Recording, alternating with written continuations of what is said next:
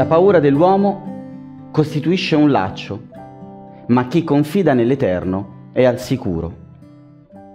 Un fiume, durante la sua tranquilla corsa verso il mare, giunse davanti a un deserto e quindi si fermò.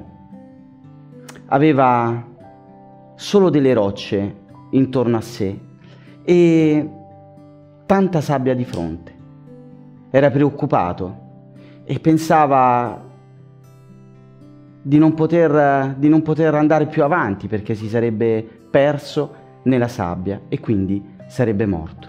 Ma il tempo andava avanti, trascorreva e il sole piano piano asciugava la sua acqua e quindi diventa preoccupato.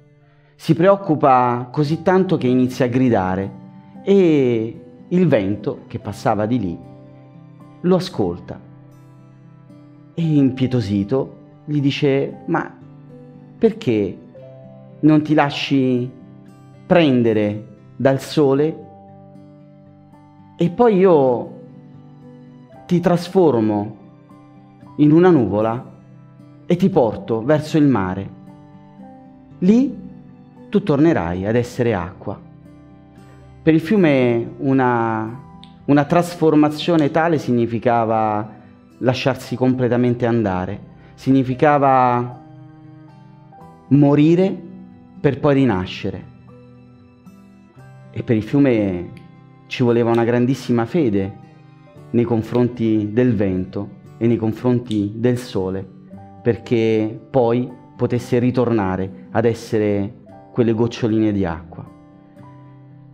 Il fiume non si fidò né del sole né del vento e quindi decise di, ri- di rimanere lì cercando di trovare una soluzione alternativa alla sua fine.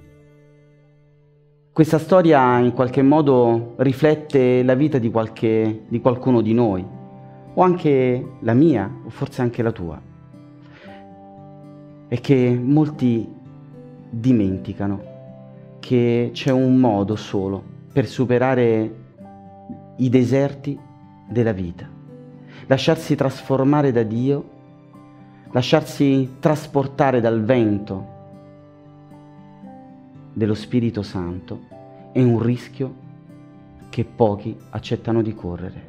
Ebbene, quello che voglio dirti questa mattina è di correre il rischio, di lasciarti trasformare da Dio per poi essere ciò che vorresti essere veramente, ciò che per cui sei stato creato, che è quell'essere meraviglioso.